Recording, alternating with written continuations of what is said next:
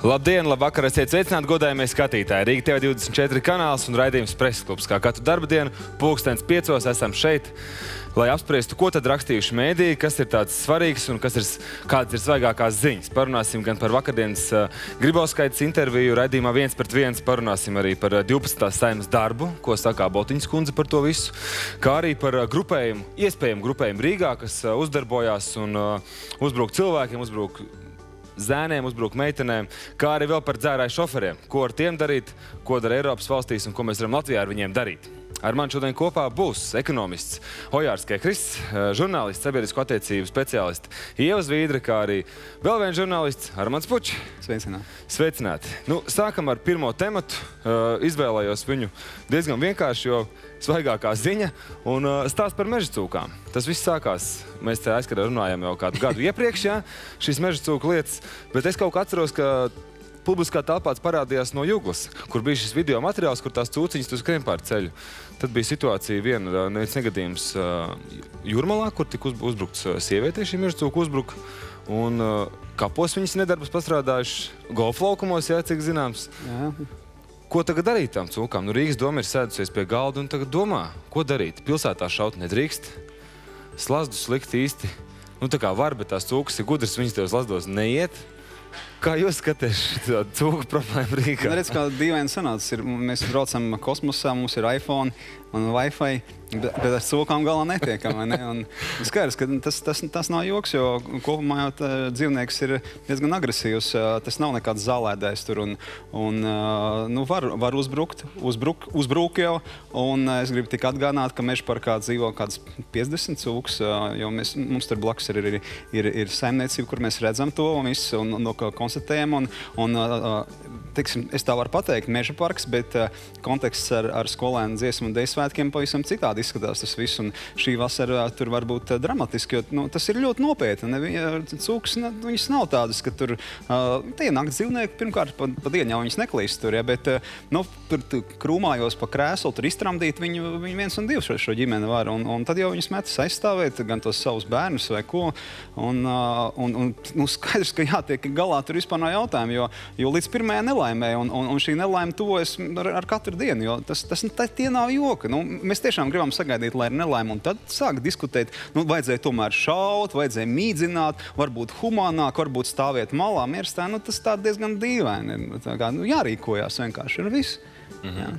Un kas pilsētā taču nav? Nu... Tieši tā ir man tev pilnīgi taisnība, jo mēs atcerēsimies kaut vai romānu un doktoru lektoru, ja, kurš iemācīja, ko darīt meža cūkas, ēst cilvēkus. Ja.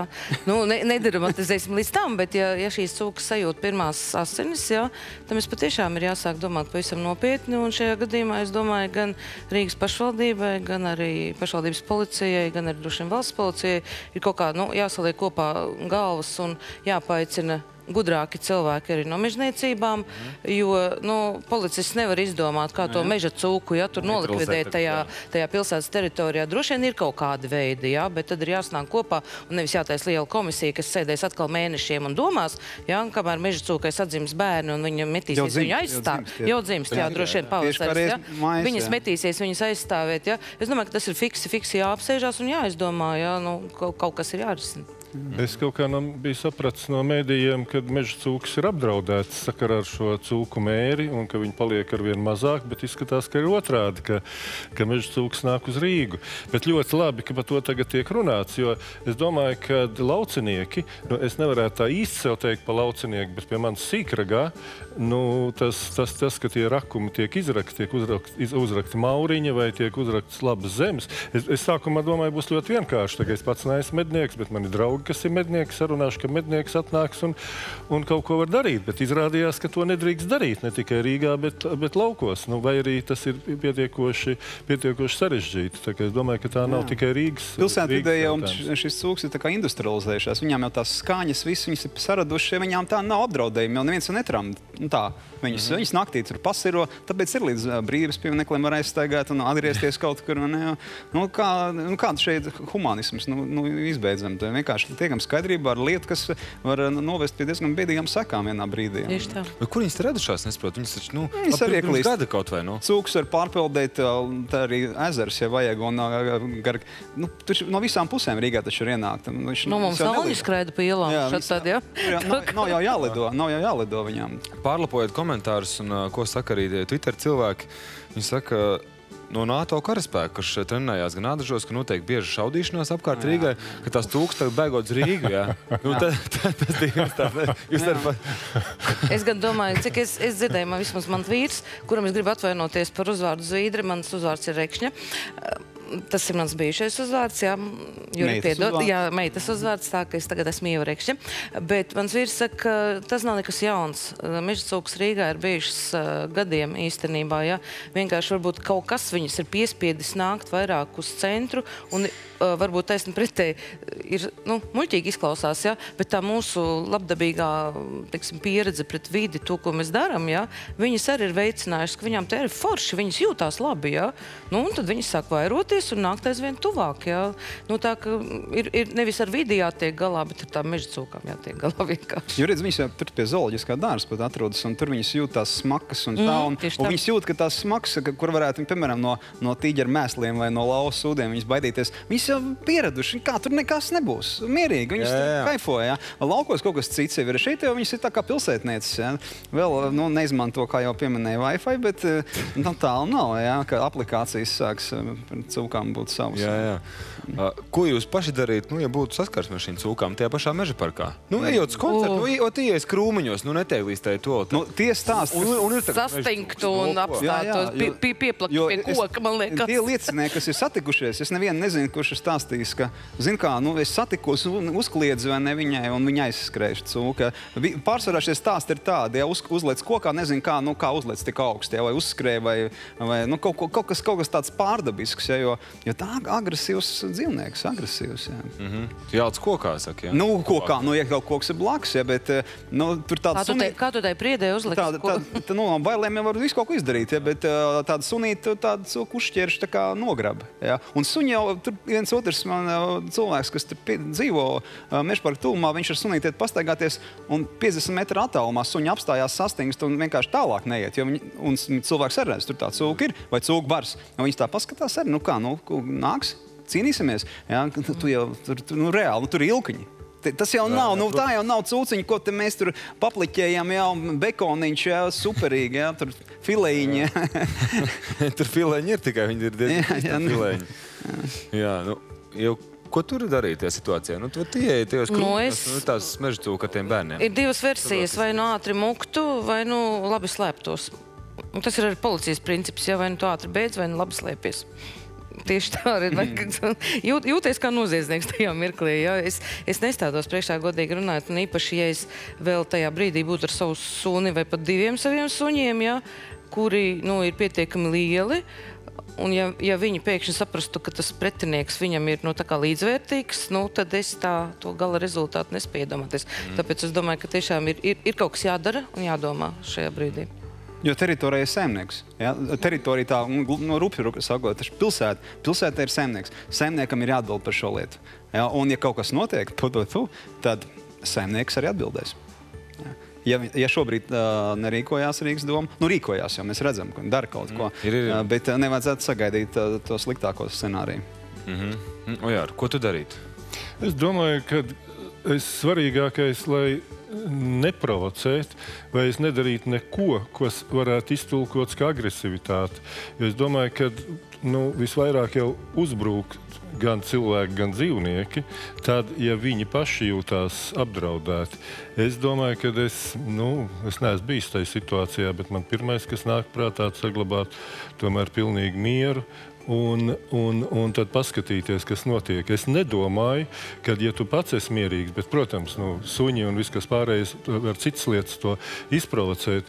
Es ceru un nedomāju, ka viņa, teiksim, ja tu nu, bez iemesla vai arī bez izprovocēta iemesla uzbrukt. Bet es neesmu tas, kas var to Jā, bet kompetenti kopumā jau kolēģi ir atbildēt. pilnīgi neticami. Ne, ka 21. gadsimts mēs runājam par cūkām uh, lielā pilsētā, un tas ir meža cūks. Tas ir kaut kas neiedomājams. Mhm. Nu, jā, Bet bet ir ir jau lielās pilsētās, ir, ir, ir čūskas un tīģeri, ko cilvēki paši jā, ir jā. ieveduši šajā gadījumā. Laikam, Jā, gan jā, ar ne, Krokodili un tā tālāk. Nu, jā, bet tas ir, teiksim, ja mēs būtu Indijā, tas būtu pilnīgi loģiski, ka tur mērķis skraida un vēl. Ja? Te it kā arī tās meža cūkas ir loģiski, bet diez vai tas ir tas moments, ar ko mēs varam lepoties, ja ka mēs tā forši esam to dabu saglabājuši. Ja? Ja lācis ienākt pilsētā, mēs arī tā teikt, nu, zin, kā šaut nedrīkst. Nu, pagaidām, paskatāmies, lai viņš Ko darīs, vai ne? Jā, nu, ko darīs? Nu, ko? Jā, bet, nu, Nu, bet kādēļ, kādēļ tad var, nu, es ja pieņemu, ja šaut, bet kādēļ, nu, es saprotu, nav tik ļoti grūti šaut ar iemidzinošām lodēm, ja vismaz to darīt. Tas ir risinājums Ir jautājums. daudz Aiziet mednieku kolektīvu Latvijā, lai, lai Jā, tas galā. Gan izdomās, gan izdomās. Bet kas ir, ko es pozitīvi visā šajā saskatu, ka Rīgas cīnās par savu piesārņojumu, par to, lai Rīga būtu zaļāka. Es domāju, ka cūkas dzīvo tur, kur ir zaļi. Un uh, ka nemaz mums tik pelēka un netīra te nav. Vai ne? Ja- ja- Kurš ja ir mēs- teicis par Rīgu, viņa ir palēka un netīra? Jā, Dievs. Rīgai milzīgs Parādi man ir to, ar, kas to ir teicis. Jā, Rīgai milzīgs problēmas ar piesārņojumu. Ir. Mums te nāk visādi sodu Nu, sankcijas. Kas no par muļķībām? Nu jā, Atrodiet vēl tik jā, zaļu Aiz, smuku aizbraucam uz pilsētu. Eiropu, salīdzinām. Es domāju, ka šī ir viena no, no tīrākajām pilsētām. Mēs varam lepoties vispār kopumā ar valsti, kad valsts ir tīra un, un, un skaista un zaļa. Un, bet nu, kaut kur citur metropolēs, nu, piedod man, tāda centra nav tika izlaizīta. Izlaizīt, jo mums Tieši uz tā. tā fona ir izlaizīts viss. Ja? Tur aizbrauciet, vienalga Barcelonas, Berlīnas, sa- salieciet rindā. Parīzi, pasieties vakarā, kas Nu, notiek. jā, jā, mēs Tīrības ziņā. Tieši tā, tā Jā. kā nu, ne, ne, ne, ne, nekaisam šeit uz saimnu. Tikai ne, tikai ne ceļu, un sevišķi jā. starp Jā, jā. kvartālu ceļu ziņā. Tas ir dramatiski. Nāk- nākamās tēmas sarunai, pret jā. piesauktajām pilsētām. jā. Jā. Nākamās tēmas varonē tie ceļi labāk ir. Tie, tie, tā ir mūsu kaimiņu valsts ā, Lietuva. Nu, vismaz tā es esmu arī savus tādus pārbaudījis. Ir labāk tie ceļi, ka brauc. Daudz. Un uh, vakar vakarā bija ā, intervija Latvijas televīzijas ā, kanālā viens pret viens ā, Gunters Reiders ar Lietuvas prezidentu Daļu Gribauskaiti. Un tad intervija visi gāja kā pa, kā, kā, pa, kā pa sviestu, kā saka, vai ne?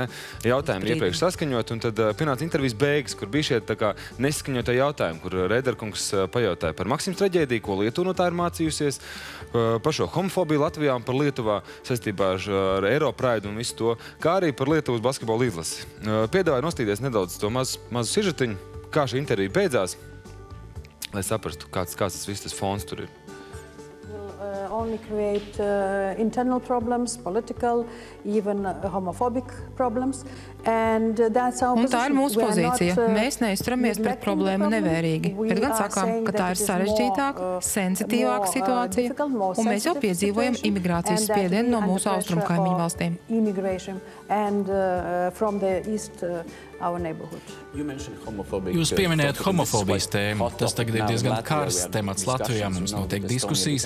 Mēs zinām, ka Igaunija kļuva par pirmo postpadomju valsti, kas legalizējusi vienzimumu partnerattiecības. Kā ir Lietuvā? Kāda ir jūsu pozīcija? Lietuvā nav liela diskusija, man šķiet, šī tēma nav aktuālo jautājumu sarakstā. Bet bija komitejā. Es domāju, mēs neesam saskaņojuši šo jautājumu. Es negribu par to runāt. Es domāju, mēs saskaņojām noteikts jautājums un necenšaties man aizkavēt 40 minūtes. Ja jūs beidzāt ar jūsu jautājumiem, mēs esam beiguši. Tad vēl viens jautājums, ja iepriekšējais nav dienas kārtībā. Labi. Jau trešais jautājums, kas nav saskaņots. Lūdzu, izņemiet šos jautājumus ārā. Gribētu skaidrs, kundze, turpināsim. Kādi jautājumi? Es gribēju pajautāt par mācībām, kas gūtas pēc jumta sagrūšanas Maksimas lielveikalā. Nē, tas nav saskaņots jautājums. Es neesmu sagatavojusies uz to atbildēt. Es domāju, mēs varam beigt. Mēs varam beigt. Tad pavisam pēdējais jautājums. Labi, ja tas ir saskaņots. Ja tas nav saskaņots, es atvainojos, tas nav iespējams. Es uzdošu jautājumu, ja negribat atbildēt, sakiet. Tas ir jautājums, ko lūdzu cilvēkiem Twitterī, ko viņi vēlētos jums uzdot. Un lūk, jautājums, ko viens no mūsu lasītājiem vēlējās zināt. Ja jums būtu iespēja izvēlēties visu laiku labāko lietuviešu basketbola komandu, kas būtu jūsu top piecinieks? Nē, nē, es atvainojos, es nevaru beigt ar tādiem jautājumiem interviju. Ja nevēlaties uzdot man jautājumus, kas ir saskaņots, mēs esam beiguši.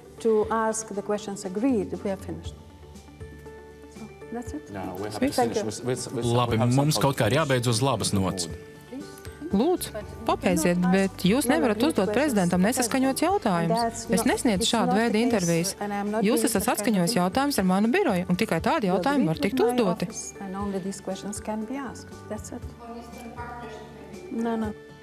Nu, redz kā. Nu, tā, tā viņiem tur gāja, un tā, tā arī varbūt negāja. Nu, kā vērtēt to visu? Nu, Saskaņot, nesaskaņot, žurnālists neprofesionāls vai nav ētiski. Viedokļi daudz un dažādi Twitterī. Ja, nu, kāds bija mērķis? Jā, jā, bija mērķis intervēt Lietuvas prezidentu, un abas puses zināja, ka ir šādi nosacījumi. Jo abas puses taču vienojās par kaut kādiem noteikumiem. Pirmais mums ir, kāpēc nevarēja šos jautājumus, ko kolēģis Rēders uzdeva, kā, nu, nesaskaņots, kāpēc tā, tos nevarēja pirms tam arī iekļaut šajā sarakstā. Un, un ja viņa saka pēc tam, es neatbildēšu šiem jautājumiem, tad vismaz būtu iespēja pateikt, mēs aizsūtījām, viņi neatbildēja uz, uz konkrētiem šiem jautājumiem. Bet šajā brīdī es domāju, ka tas tā izskatās, tā kā nu, mēs, tā, mēs, mēs esam normāli paņirgājušies pa lietuviešu, Lietuvas prezidentu, jo tas ir, nu, vai tur var pārmest žurnālistam nu, ieraksts tas bija. Tā nebija tiešraide. Nu, jūs taču zinājāt noteikumus abas puses. Malas, ka ir kaut kāda arī tāda normāla pieklājība, ja, kas, kas izriet no, no apusējas sadarbības. Ja, kas, nu, tu vēlēsies interviju, tu zini noteikumus, pēc tādiem strādā. Nu, ja tu nevēlies, tad vienkārši provocē.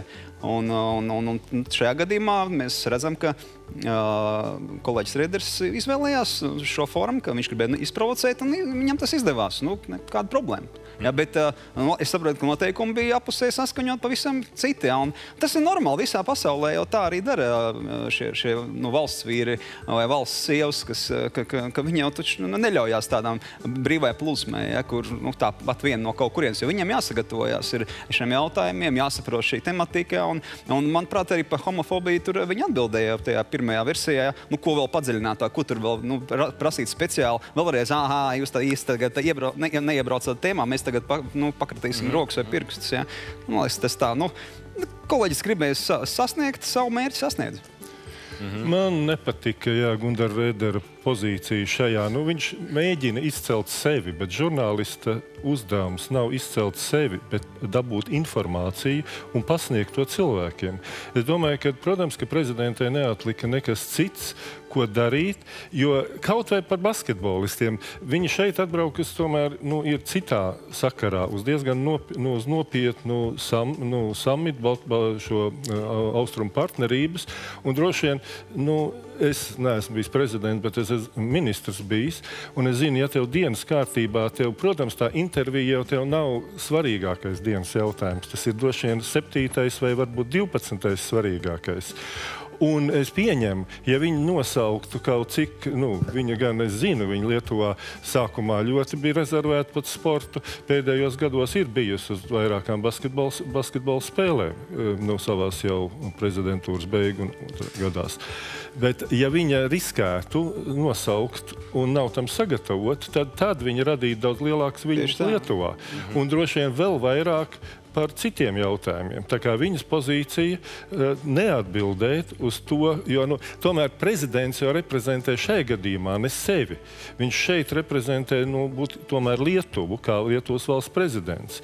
Un, un līdz ar to, ja viņš pateiks kaut ko, nu, kas tomēr nu, neatbilst patiesībai, tas, tas nav. Tas, es domāju, ka viņa darīja, darīja pareizi, bet nu, vai, vai tas nāca pa labu šāda, teiksim, ka žurnālists mēģina pats sevi izcelt? Es domāju, ka nē. Es varbūt šajā gadījumā gribētu bišķiņu iebilst. Es pilnīgi piekrītu, ka mūsu kolēģis uh, nu, aizlaida šķībi. Ja, tā, īpaši tajā, ja tas bija ieraksts, ja, kā izrādās, ja, Ierakst, tad to, to varēja nerādīt īstenībā. Bet man jāsaka, tā arī prezidents vietā. Es godīgi runāju, tik ļoti neuzsvērtu, nepārtraukt to, ka tas nav saskaņots. Nav saskaņots. Nu, eh, ja tas nav saskaņots, eh, tad ir tāds uh, feins vārdiņš kā mans viedoklis. Ja? Viņi varēja nepaust varbūt valsts viedokli, viņi varēja pateikt savu viedokli. Jo m, mm, jautājums par homofobiju, protams, tik ļoti katolistiskā valstī, kā, kā Lietuvā.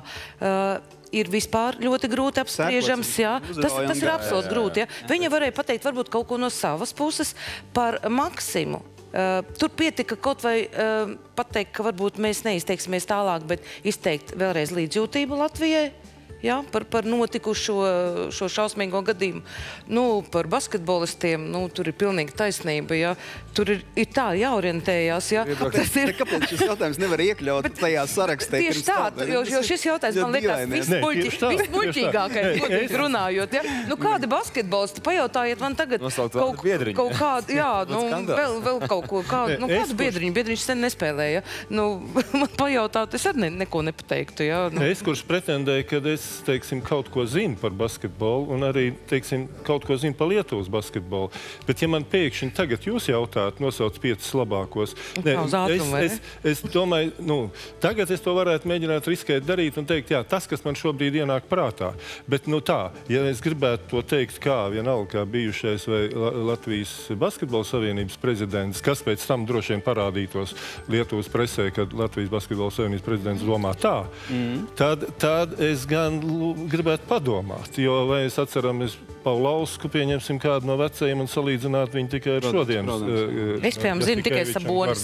Bija tāds, vai ne? Tas ir diezgan kas sauc par Saboni. to es gan nezinu. Es zinu, ka bija tāds garš basketbols. Jā, bet prezidenti uzvilkās un, un, un, laikam viņi arī saprata, ka tā kā tas ir ieraksts, faktiski tāpēc arī viņi atļāvās būt Es domāju, ka tas tiks izgriezt. Tas ir normāli, nu kā vienojās taču abas puses, taču apusēm. Tas nav tā, nav vienvirziena iela. Nu, nu, mums arī jāsaprot, arī nu, kolēģiem es īpaši ar akmeni ne, negribētu mest, bet, bet forma, kā tu pēc tam to parādi, nu, tu sasniedz savu viennozīmīgi. Es domāju, ka nu, īstie stāsti pirms tam, kur tur mums tur, tur blakus kaimiņš baigi tāds agresīvs tur, un, un demokrātijas tur nav. Un, un tad nu, te noliec blakus interviju ar, ar, ar valsti, kas pretendē uz, uz, uz šiem parametriem demokrātijas un pārējiem. Nu, un arī nu, Krievu berzē rokas tur Kremlī, ha, ha, ha, reko, reko, šie savā starpā tur netiek gudri. Ja? Nu, tie jau tā vienotība baltieši mazliet, nu, kā sabiedriskā televīzija varēja arī par to mazliet padomāt. Ja? Tā kā, jā, jā. Nu, tas, tas, nu, tas izceļ, nu, ko tas izceļ? Ja? Labi, žurnālisti tas izceļ, viss kārtībā. Ja? Nu, vesels bariņš tur, nu, kā bariņš, nu, cik tur daudz tur Twitterī plosās, nu, nu pasmaidām par to. Ja, kopumā tas, nu, tas nē, nērtības sajūta rodas. Ja? Mēs taču... Es domāju, ka Ojāram bija taisnība tas, ka, ka, ka nu, prezidenta domāja pilnīgi par citām Tieši lietām. Tā. Viņa bija sagatavojusies šai intervijai. Ja? Viņa zināja atbildes uz tiem viņa jautājumiem. Viņa, viņa, viņa piekrita tieši tā, šajā laikā, kad viņai, nu, es domāju, ka smadzenes kūp vienkārši ja? šī austrumu tas partnerības samita. Ne jau tikai politiķi nosaka, ja? nosaka šādu kārtību. Ja? Piemēram, atsūtiet jautājumus. Tur taču popkultūrā pilns ar tādiem gadījumiem, ja tur zvaigznēm, kas atsūtiet jautājumus un mēs nā, iesim uz interviju. Ja? Tur, jā, jā. Ne jau tikai politiķi. Ja? Man tur roka mūziķi ir. Man ir jāsaka, tādiem viesiem, par ko tieši tā, tieši tā. tā tas ir ļoti normāli. Nav tur ko brīnīties, ah, ko viņi tur prasa jautājumus pirms tam. Bet, bet tas ir cits formāts. Tas ir cits ah, formāts, ja tev ir hard talk pieņemsim, vai, kas. Bet tad tu tomēr nāc arī, nu, tu nāc vai, un, un arī piekrīt šādai intervijai no tādiem nosacījumiem. Un, protams, ka tad tas nāk no tevis, tas nāk impulsīvi, nāk pēkšņi, un tas parāda, teiksim, prezidenta vai intervējumā personību. Bet tas ir tomēr pilnīgi cits formāts. Mm. Nu, Anis Kraus bija Twitter ierakstījis to, ka viņš šobrīd ir intervējis pēdējo pāris nedēļu laikā esošo prezidentu un bijušos prezidentus. Trīs viņš saka, mums nebija jāizsūta iepriekš tematu. Kāds tā nākās, ka, nu, ka citiem ir, citiem nav? Nu, tā nākās, tas, nu, tad ir... cilvēki ir dažādi. Protokoli ir dažādi. Dienas kārtības ir tik nu, sarežģītas tām personībām. Ja? Viens grib uh, valēt freestyle, nu, citam vajag jautājums. Nu, nu, tāpēc es saku, nu, ir jāciena tā otra puse. Ja? Nu, pat ja tu esi. Pagaidiet, noskaidros, Mārnis Krause pajautāja kaut vienam prezidentam par Latvijas basketbolistiem. Vai par Latvijas hokeju? Tik precīzi nepateikšu. Nu, tieši tā, par to ir jautājums. Viņš droši vien runāja par viņu prezidentūras laiku. Ja? Tas ir, tu runā nevis par dzīvi uz Marsa, ja? bet tu runā par savu pieredzi iepriekšējo. Nu, es nedomāju, ka šai prezidentei ir baigā pieredze, teiksim, basketbola Nē, nu, vē, vērošanā jā, vai kaut jā, kā tam līdzīga. uzdot jautājumu, piemēram, par logopēdiju, ja? visiem šiem prezidentiem. Tur var būt stāsts, ja? kurš atbildētu, kurš nē, ja? un kur, kurš tur saminstinātos. Vai par tautas dziesmām, ja? vai ne? Jā, jā, jā, nu, jā. Vai ar viņu Freiberga atbildētu, diez vai Ulmans atbildētu? Jā, jā, nu, tāds secinājums visai šai tēmai. Kāds no jums puses būtu secinājums? Nu, tā cilvēki ir nostījušies šo interviju, Latvijas pilsoņi, ja? es pieļauju, ka arī Lietuvāšu interviju skatījās. Un kā tagad viņu uztvert? Provokācija. Prez- Provokācija. Ļoti skaista provokācija. Vienkārši kā provokācija. Es gan teiktu, ka tā ir īstenībā baigā muļķība. Nē, nu, Lietuvieši, es domāju, domā, ka tā ir provokācija reāli, ka to nu, apzināti izdarīja. Jo taču Kā nebija tu uzskati tiešraidē. Latvijas iedzīvotājiem? Viņi arī lasa, tagad skatās, lasa Twitter, skatās arī, un domā, tā, tā, tā, nu, re, mums te izslavētā gribauskaita kaimiņos, kas ir te baigi. Foršā. izgāzās, vai ne? Kaut kas te nav labi tomēr Redz, ar viņu, jā? tas, līdz ar to varbūt šis mērķis arī bija tāds, nav? ka, nu, lai parādītu to, ka tā gribauskaita, ko viņi tur lēkā, tur blakus, jā, mums kaimiņos. Jā, varbūt mums te blakus ir kaut kāds cits cilvēks, kur mēs te gribam pacelt uz, piedestāla. Jā, nolikt. Ja, nu, pamēģiniet tādus joks ar Merkeli izdarīt. Ja? Nu, jā, Nu, es jā, nedomāju, ka, jā. ka, ka kolēģis tieši tādu pašu interviju varētu atļauties parādīt, eh, teiksim, uzdodot trīs jautājumus par, par vācu, kas Vācijā no sportiem ir pats. Uzdosim par nacismu Merkelē. Nu, par nacismu jautājumu, Jā, tu par, par, par Jā, jā. sportu, vēl kaut ko. Un būtu šāda jā. atbilde. Es tiešām nedomāju, ka Latvijas televīzija to pārraidīja. Nu, un vēl muļķīgāk, ja tas tiešām ja tas bija ieraksts, tad pēc tam rādīt, rādīt nu, tās, tās beigas, nu, no tā paliek kaut kāds, nu, tāds, tas ir, nu, liekas, la, laiks, kādēļ to darīt. Mm. Man tāds tikai jautājums. Jā. Jā, nu tā nāks ciemos Gunārs Eders, es viņam pajautāšu. Atsācis par tādu, ko, ko viņš domā. Ja, doma jau kaut kāda ir viņam bija, ne jau viņš Jā. tur tāpat. Nu, ko, labi, aizējām. Pauzītē. teikt. Pēc reklāmas parunāsim par mūsu 12. saimnes darbu, ko ir teikusi Aboltiņas kundze, vai ir tik katastrofāli vai nav katastrofāli, kā arī parunāsim par iespējamiem grupējumiem, kas Rīgas centrā uzbruka gan sievietēm, bērniem un tā tālāk. Tas viss pēc reklāmas skatītāji. Es...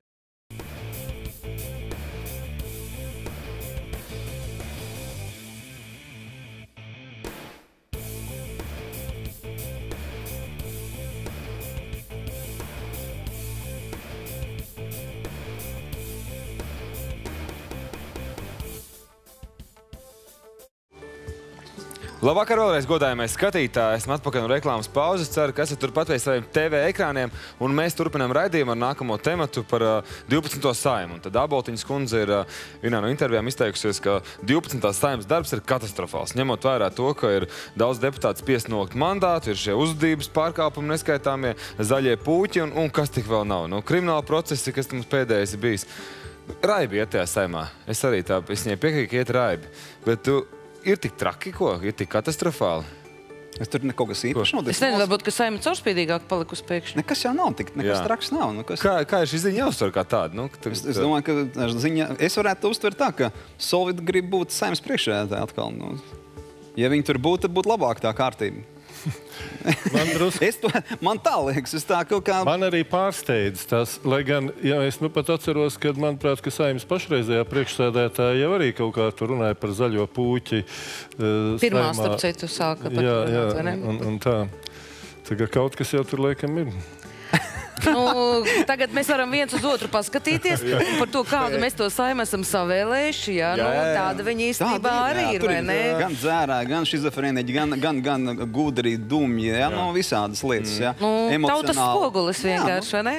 Jā, nu, tā ir. Bet, nu, labi, nu, labi tad pas, paskatāmies uz to spoguli atpakaļ. Nu, nu, kas viņam to visu ir ievēlējis? Ko tam spogulim tagad domāt par to visu? Viņš tāds skatās uh, atspulgā un domā, pagaid, Attiniet atpakaļ tos redziet. mēnešus, un es pārvēlēšu saimu, vai ne? Un viņa būs tik domāju, ka- forša, vai ne? Es domāju, ļoti daudz cilvēku Latvijā šobrīd domā, eh, kāpēc šitā? Nu, es taču būtu, būtu es to zinājis, es būtu citādāk, ja? Bet dzīve ir tāda, kāda viņa ir, ja? Un mums jāpieņem šī saima, nu tāda viņa ir. Nu. Tāpēc mēs īpaši četriem Jā, gadiem. nav nekas, nav nekas riebīgāks par demokrātiju izgudrots. Jā, bet nav arī nekas labāks. Jā, tā, lai aizstātu šo procesu. Līdz ar to pieņemam to, ka mēs šajā demokrātijā nu, esam spiest gan sadzīvot ar, ar, ar, ar, ar, ar negācijām, ar labumiem, ar, mm. ar, ar cūkām, ar intervijām, ar gribaus- gribauskaitu un tam līdzīgi. Ar visu kopā. Nu, tā, tā ir. Nu, tā ir Jā. modelīts. Es tomēr arī domāju, ka nu, nav. Nu, ne, nu, Pa lielam ir tā, kā jūs sakat, ka mēs esam ievēlējuši. No otras puses, jau mēs neievēlam. Šai gadījumā mēs ievēlam uh, lielākās personības, kuras ievelk pārējos, kurus, godīgi sakot, mēs ļoti bieži nezinām. Es šaubos, vai mēs nu, es nevarētu šobrīd nosaukt visus simtus saimnes deputātus. Nu, jā, nu, pagad, tos vilcējus, tos vilcējus, jā. Nu, protams, ka mēs netaisīsim droši vien konstitucionālo reformu tuvākajā laikā, bet tomēr zinu, ka nu, tas varbūt kas, kas sevi slavēs, ja ne paši, bet tomēr augstākās padomas deputātiem nu, tas uzskats nu, ir diezgan nopietns, ka ar katru, sākot no augstākās, sam, augstākās padomas laikiem, tas, tas, teiksim tā, tas varbūt intelektuālis un tāds līmenis ir samazinājies.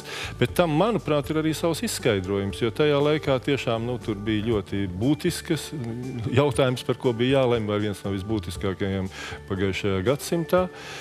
Un, bet arī otrs, ka ka tad vismaz man bija, un arī visiem pārējiem bija jācīnās vienā konkrētā apgabalā, un tev pašam, manuprāt, tev katram pašam bija jābūt personībai, un tev bija jāuzvar savā apgabalā pret, nu, pret, pret, pret citiem izvirzītajiem deputātiem. Te vēl varētu būt tā, ka šī retorika, ko Abaldīņas kundze prezentē, varētu būt, nu, es pat nevarētu. Es domāju, ka ir saistīta ar prezidenta vēlēšanām, jo noteikti tas veikals, kas tur tiek veidots, ko darām ar tiem amatiem, ko tur kārtojām, rokādus un tam līdzīgi, tas te daļai ļoti iedarās. Jā, nu, pat, jā, pat piestāv, pat, pat piestāv tam. Es, es piekrītu, ka tas drīzāk šajā brīdī ir. Un, un tas ir mājiens kādam konkrētam grupējumam, frakcijai vai cilvēkam, ka veči vai atvainojiet, sievietes, jā, tur nu, tik viegli nebūs, kā jūs te mūs tagad kniediet. Jo nu, saimnes priekšsēdētāja nav aboliņš šobrīd. Līdz ar to nu, tas ir mājiens arī mūrnētas virzienā. Šobrīd, jā. jā un tas Šobrīd. nozīmē, ka, nu, tā, apmēram, nu,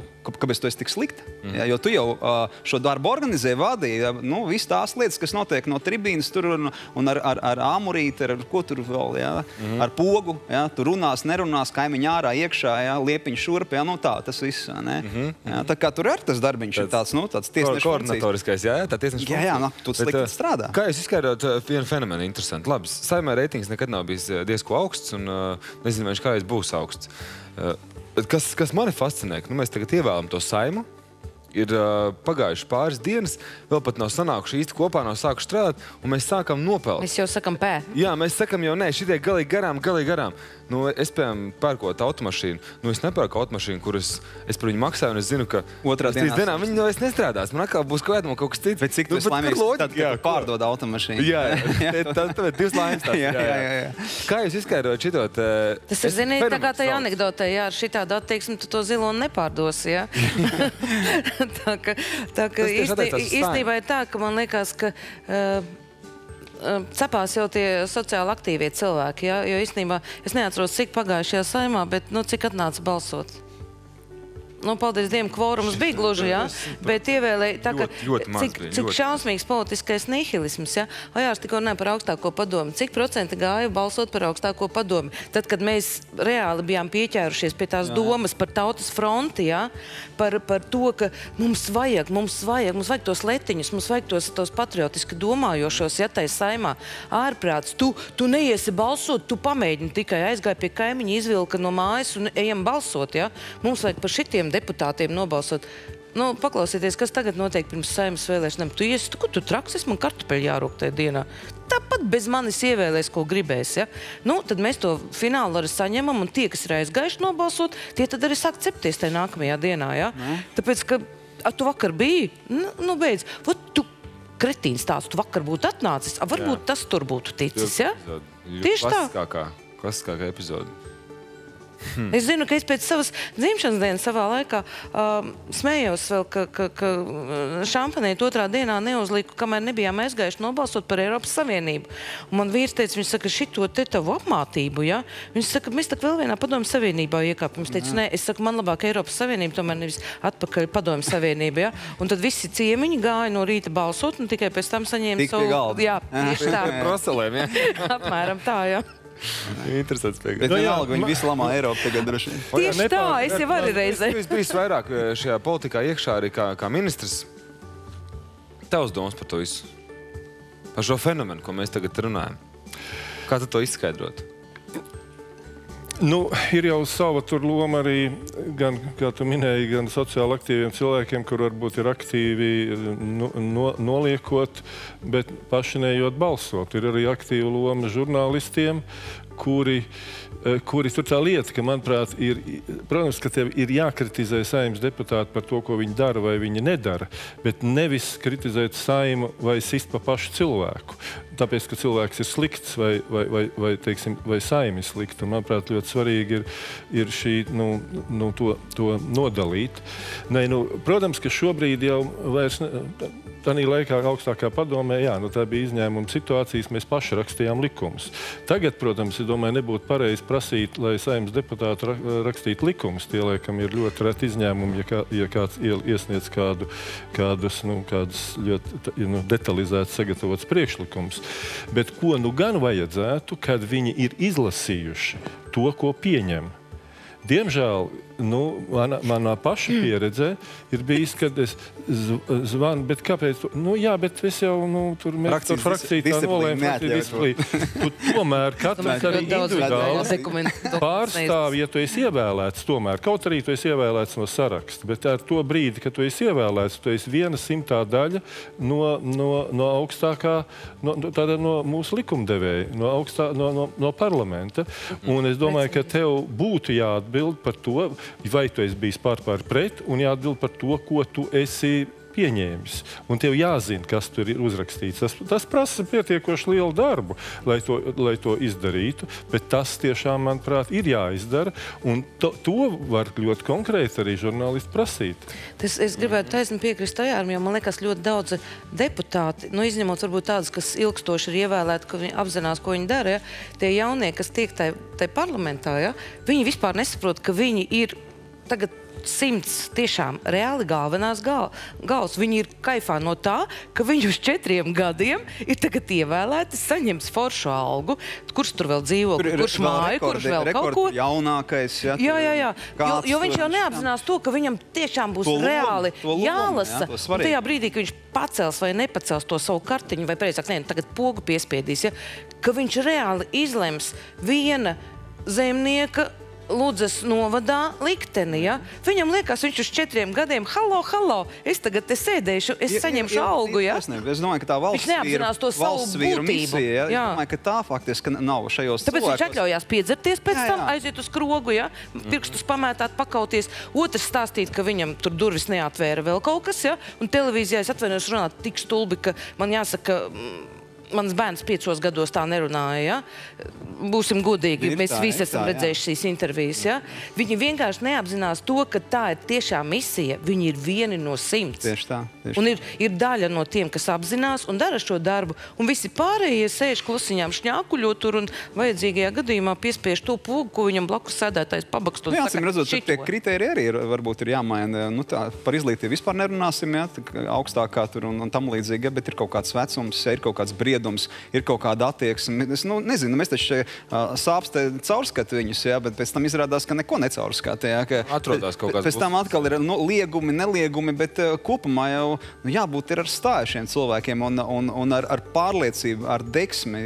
Nu, valsts vīri, valsts sievas. Nu, tas ir tas, kāpēc šie, šie cilvēki, kas apkārt viņiem varētu iet aiz, aiz, aiz, aiz, šo, aiz, aiz, aiz, aiz politiķiem. Jā. Ne jau slēpties, bet kopā ar viņiem. Jā. Un rājot ar pirkstu, nu, tas jau Tas, tas, tas ir it kā ir viegli. Protams, ka ir viegli, bet uh, to var mainīt tikai valsts vīri paši. Ja, Man liekas, ka ir pat pašvaldības, jā. kurās cilvēki uzelpo laimīgi, apmēram, fuh, viņš aizgāja no mums, tagad sēdēs jā, saimā. Ja?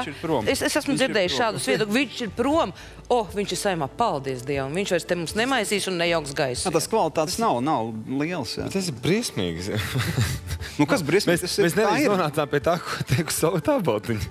bet tas jau nav, bet tas nav 12. tikai saima. Es atvainojos, nu var jau teikt visādi, bet 11. nu mēs, nu ir, ir kaut bet kas. Tas veids, kā tāds... Solvit arī nokļuva šajā saimā, arī tas neatbilst valsts vīru vai valsts sievas cienīgam, cienīgai rīcībai. Nebija diezko ētiski, jā. jā un, un, un tā jau ir, tā tu nevar dzīvo. Tu, tur vienā brīdī tu saki vienu, otrā brīdī dari citu. Nu, tā jau tāpēc jau ir rāda ar, ar, ar pirkstiem. Bet es domāju, ka drīzāk tas ir jāvērtē tik tiešām, ko tu teici, kā, kā nu, kā politiķes, politiska rīcība. Mājiens tāds. Mājiens, Jā, jā, jā. Un, un, un, un drīzāk ir vērts, nu, ja, ja grib tad analizēt tajā virzienā. Mm -hmm. Es varbūt tik, tik sīki Jā, kur- kur tam, puzlē- kas kur tagad puzlē notiek. iedarās? Tas bija Jo gājiens tas, kauliņu. tas, Jā, jā, tas drīzāk virzienā. ir mājiens. Ir mājiens, mājiens. Ir mājiens, un arī, nu jā, kad, kad varbūt, kad, nu, kad saim, jā.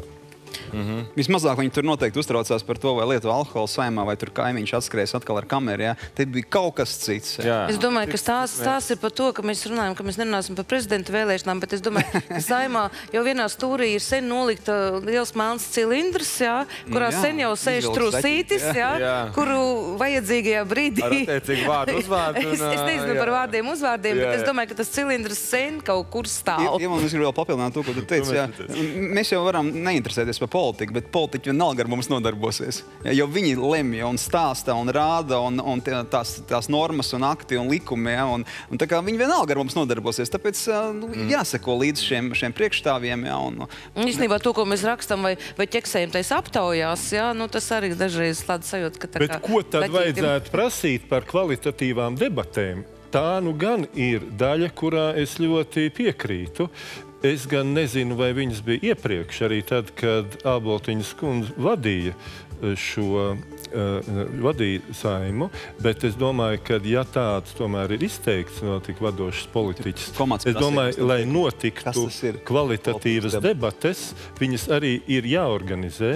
Mm. Un, un te, tur ir teiksim, arī tur ir, cik katram ir laiks, un Jā, tā jā. tālāk tās, tās pieredzes ir pasaules parlamentos. U, jo, nu, jā, tas Bet būtu- vai debates jo mums jau organizē tieši debates Saeimas būtībā, ja arī notiek, tad varbūt Nē, notiek pat ne tik daudz komisijās, kā varbūt drusku frakcijās. Bet tad, kā šis jautājums par kvalitatīvām debatēm un kur viņas notiek komisijās, uh, komisijās tāpat. Tāpat um, saimnes frakcijās un kas notiek plenārsēdē, tas ir, nu, tas ir atsevišķs Nu un apspriešams. beigās- Plenāra sēdē notiek tas, kas pirms tam ir izdarīts. Nu, darba rezultātam Lielā jābūt, mērā jau tas sēdē ir kā. teātris, bet tas teātris, jo principā tur jau cilvēki nāk spaust savu sagatavotu Jā, jā, jā. pozīciju. Tas arī nebūtu normāli, ja Argumentēt sēdē pēkšņi dzimtu kaut kas pilnīgi jauns. Ja man liekas, ka debašu kvalitāte vislielākā mērā atspoguļojās to, uh, saimnes toaletē, tur pīpauzē. Ja? Tur jau arī tā kvalitāte Nav rodas. Jā, jā, jā, jā. Nu, droši vien, ka viņi tur izrunā. Nē, nu, pēc kādreiz tam- teica, ka vismazāk zina tie, kas nesmēķē. Ja? Jā, jā, Un pēc tam iet, iet tribīnē, un tur jau ir sagatavoti. Jā, tur jau ir sagatavoti. Pirms mēs ejam tālāk uz ā, nākamo tēmu, vakar bija tāds spilgts personāžs ciemos manā raidījumā. Mūsu mākslinieks Dāvids. un Mēs tad runājam par politiskām lietām. un Viņš ā, izteica tādu domu, ka nu, mums vajadzētu domāt par nevis 100 galvām vai 50 galvām, un vajadzētu kādas pāris apendicītu operācijas saistībā ar valsts ā, aparātu birokrātisko visu. Ko jūs sakat par tādu lietu? Ka mums aparāts ir pārāk liels un šis mehānisms ir tik liels, ka nu, ot, tas nevar izlasīt to. Tam ir, lai saskaņot, ir jāiet caur tik un tik kabinetiem. Domas Jā, bet es apskats. atvainojos deputātam vai, vai kādam valsts Kārtas pārstāvim par to maksā algu, Skaidrs, lai jā. viņš, lai viņš izlasa to dokumentu un nevis uh, paraksta viņu nepaskatoties par to apgraizīšanu. Nu, Nezinu, pap, papīra jūra, godīgi runājot, manuprāt, neskatoties uz elektronisko laikmetu, joprojām valsts iestādēs ir tāda, ka man tāds ir, ka mēs katru, nestoties uz to mežu, ko mēs aizvedam uz, uz Zviedriju vai Japānu, ja, mēs vienalga katru dienu dokumentos nu, kādu pļaviņu izcērtam. Jā. Vēl jau ir Jā. tā, ka ir jau tomēr arī daudz labā noticis, un mēs kaut kā ļoti ātri aizmirstam, kā bija. Un kas tagad ir? Un, un, uh, nav jau tā, ka uh, šie ierēģi ar katru gadu paliek uh, nu, uh, sapūšāki, iepūšāki, tur tiksim, kaut kur uz palodzes nolikt, ja, un, un tad tur kaut kas viņiem distekē un galīgi nebaudām. Ja. Tā jau nav. Nu, atsevišķs piemērs, nu, tur vienmēr kāds izlieks. Ja, bet, man- un arī tas, nu, varbūt Dāvids, mēs uh, tur, nu, varam var, varbūt viņam pavaicāt, tagad klātienē tur to nevar izdarīt, bet neklātienē, nu, kā, kas ir šis kriterijs, kāpēc ir uzpūsts? Kā, nu, kā, kā, kā, Jā, viņš ir bijis kādā no valsts iestādēm un redzējis, ko tie viņš cilvēki zina dara. skaitu, viņš zina to atbildības līmeni, tās, nu, to, to darba apjomu. Nē, viņš Jā, viņš salīdzināja ar jo Vācijas. Es nesaku, ka nav. Uzpūst. Bet es nevaru arī teikt, ka, ir nu, pa daudz, jo es nezinu šos Bet ar ko viņš skaitļus. salīdzināja? Viņš salīdzina ar Vāciju, kur šis birokrātiskais uh, birokrātu skaits ir uh, valsts ierēģiņu skaits. Ne, tur Viņam ir šādi dati, ja? jo es, Nu, vienkār- es, es, arī, Viņš es arī strādāju valsts, valsts iestādē, ja? kur es, nu, ir, ir teiksim, strādnieki, kas dara melno darbu, ir vidējais slānis un tiešām ir šie valsts ierēģiņi. Ja? Nu, es neesmu redzējis, godīgi runājot, tajā iestādē, kur es strādāju, tā ir iekšlietu ministrijas not- Pārpilnība. eh, nodrošinājuma valsts aģentūra, ka cilvēki darba laikā sēdā turbinātu degunā vai, vai, vai, vai dzertu nepārtrauktu kafiju. Es zinu cilvēkus, kas, kas sēž, pārsēž savus darba laiku, un viņi tiešām strādā, jo, jo dokumentu aprite ir mežonīga, Nu jā. milzīga, un tas viss prasa laiku. Tu nevari tā.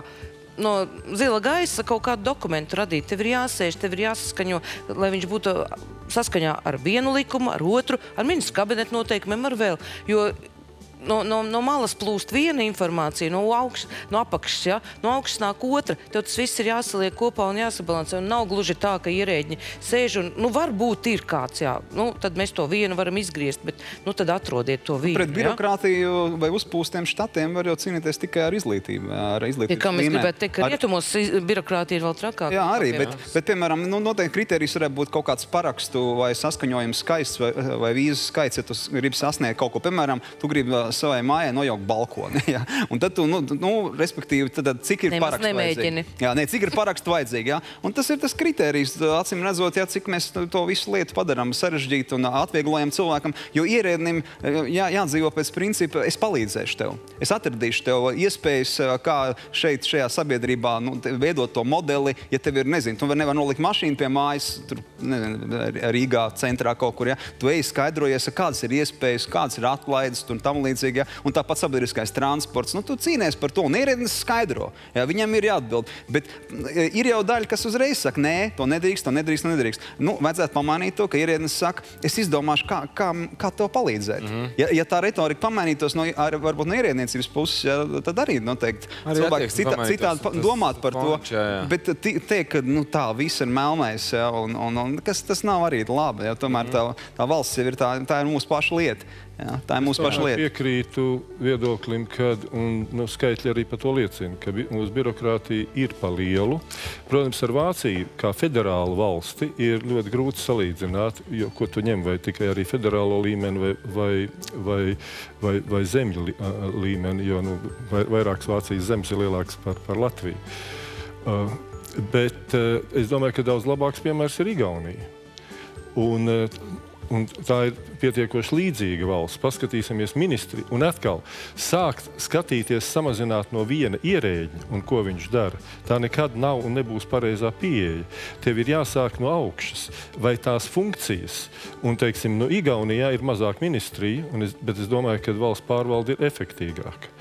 Uh, un, līdz ar to ir arī funkcijas, kuras var būt Un, bet, ja viņas ir iestrādātas likumā, tur jau tā lieta, vai, vai noteikumos tā funkcija ir jāpilda. Bet varbūt šī funkcija vairs nav jāpilda, vai šī funkcija tagad tā ir nepieciešams nevis sākt ar cilvēkiem, bet ar funkcionālo analīzi.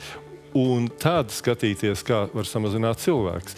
Es noteikti aizstāvētu viedokli, ka mums labāk ir darīt valsts pārvaldē mazāk, bet tās lietas, kuras tu dari, tās izdarīt nu, perfekti. Tās, tā, tās noteikti izdarīt līdz galam.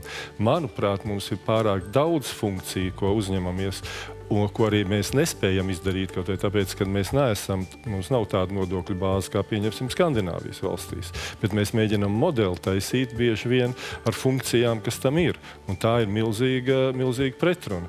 Tā kā mazāk funkciju, bet darīt to, ko darām, to darīt ļoti labi. Un arī mazā un sākt no augšas, mazinot pat dažu, dažu vienu otru ministriju. Jā, bet bija jau mēģinājums, manuprāt, dažas funkcijas atdot privātajās rokās. Ja? Un, un tad uzreiz Ra- radās jautājums, nu, sāk, kaut, Tā tā, skaitā, kaut, tā skaitā, kaut vai radarī, ja? un pie kā mēs atgriezāmies finālā. Ja? Pie tā, ka tāpat valsts to visu uh, kūrē. un- Nu, ne tikai radari, ir ļoti daudz lietas. Tas droši vien. Uh. Ar, arī, arī šie paši nu, cietumi, ja mēs sen jau runājam par privātām partnerību. Ja. Es domāju, ka, ka, ka Latvijā sen parādījās arī jautājums un ātri apklusa par privātajiem ceļiem. Ja. Nu, diemžēl. diemžēl, un esam 108. Tad ir vietā. uz Siguldu gribēju taisīt, ja tas ir kaut ko Nu, ir ir ļoti daudz Jā, jā, dažādu jā, bija. lietu, par kurām mēs sākam, un viņas tā kā finālā, ah, nē, privātajiem, nu, ir atkal cilvēka tā domāšana, ka "Uf, kāpēc man privātiem jāmaksā, ja man valsts dos pa, pavelti. Ja? Mhm. Tikai valsts dod pavelti tādu ceļu, pa kuru tu savu mašīnu varbūt negribi nemaz braukt. Ja? Ja, man, manuprāt, ierēdniecības kompetence drīzāk jā, jā, jā, nu, jā, jā, jā, priekšplānā jāizvirz. Jā. Nevis Nu, parunājam par kaut skaistu. Nu? Parunājam par mūziku. Jā. Jā, un tad uh, šodien ir tāda mūzikas svētki Eiropā, jāsaucās Eirovīzija, tas viss pasākums. uh, Un, un, un piedalās arī mūsu aminēta. Tad uh, otrais pusfināls viņi centīsies iekļūt finālā. Latvija ir piedalījusies, es paskatījos 15 reizes, debitējām 2000. gadā. Kā nu ir gājis, tā ir gājis. Vienreiz esam uzvarējuši trešā vieta, un tad uh, pēdējos gados iet tā švakāk. Nu, kāpēc, kāpēc iet tik švaki? Nu? Bet tad tas ir mēs Ziedoņi. piedalāmies. Ja mēs piedalāmies, es domāju, tas nozīmē, ka Ir- meitene uzšūka leitu, aizbrauc bariņš līdzi arī aizved līdz turienei. viņu. Jā, jā. Un uh, taču sabiedriskā televīzija arī sarīkoja pilnīgi tādu kārtīgu šovu apkārt tam visam un, un, un arī to translēs. Mm. -hmm. Nu, vai tad tas ir, es nezinu, nu, vai tā, tās ir olimpiskās spēles, vai, vai, tur, vai tas ir noteikti tā, ka latviešiem ir jābūt trīniekā, un, un, un tad no tā mainās mūsu, mūsu nezinu, ikdiena, ja, pašsajūta. Nu. Bet Es domāju, tas ir, tas ir daļa no tā latviešu barbekju, ja, kad cepamies. Ja, mēs cepamies ja, par, nu, nezinu, par ko. Ja. Nu, šoreiz par šo vakar par gribau skaitu, rīt par cūkām. Ja. Un, un meitene aizbrauc forši. Nu, mēs varam aizsūtīt, mums ir iespēja, lai viņi zied. Lai Me-. Meitenei vajag vienkārši līdzi just un, un uzgavilēt- par viņu, jo, jā, jā, jā. jo būsim godīgi. Nu, par kādu balsojumu mēs runājam? Tas ir- Leiša nebalsos. Tas ir skaidrs. Nu, tagad mums atkrīt balss. Tāpēc mums interesē šovakar Es domāju, beigties, ka- kāda balss. Jā, īstenībā. labi. Jā, Jo, bet, zini, es domāju, ka var atrisināt arī ar rēderiem. Mēs daļai da- budžeta deficītu, jo mēs varam viņu pārdot lešiem. Viņi labprāt Aminotu vai ko? Rēderi. Tagad, jo viņi prasa, kurš ir tas džeks, jā? kurš ir tas džeks, kas tur mūs pazemoja prezidentē. Bet labi, nu, jā, mēs, jā, jā, vēl veiksim. Meitenē, bet kāda veiksim? Nu, viņi tur ir, viņi jau ir tur, viņi darīs lietas. Nu, vai tu domā, viņi aizbrauc speciāli? tas ir forši vienkārši. Nu, mums viņu vajag smuki sagaidīt. Nu, jā, jā. nu, Kā tev ir? Turēs īkšķi, neturēs īkšķi. Nē, Pervizija. nu, protams, nu, es diemžēl nesekoju, bet un arī Laikam, kā diezko- mēs visi, jā. Bet es, Nav protams, nu, es domāju, ka nu, jāatbalsta un jāturīgi, Jā. jā. jāklausās tiem kam, tiem, kam tas patīk. Bet, nu, es, ja, ja, ja, tas- ja zinātu, vienkārši es nobalsotu. Nu, es domāju, Ah, nē, labi, mēs pa saviem laikam nevaram. Nevaram, balsot. nevaram. Nē, Mēs varam nevaram. pastāstīt par lietuviešiem, igauniem, visiem pārējiem. Uh, nu, ko es jums saku, liels paldies, ka atnācāt ciemos. Paldies. Turam īkšķis par aminatu. Turam gan. Uh, zvanām saviem draugiem uz Lietuvu, sakam, ka mēs nebijām tā domājuši, ka nu, tā vienkārši sanāca. Ja? Bija, kas, kas bija tas tur? Gribējās, kā labāk Kā labāk sanāca. sanāca kā vienmēr. Jā, jā, jā. Nu, kaut kā tā. Bet nu, dzīve iet uz priekšu, un uh, nekas traks nav noticis. Skatāmies vakarā Eirovīziju un priecājamies par dzīvi. Un Tiekamies rītdien, pulkstenes piecos. Atā! Ā, vakar. Jā, labi.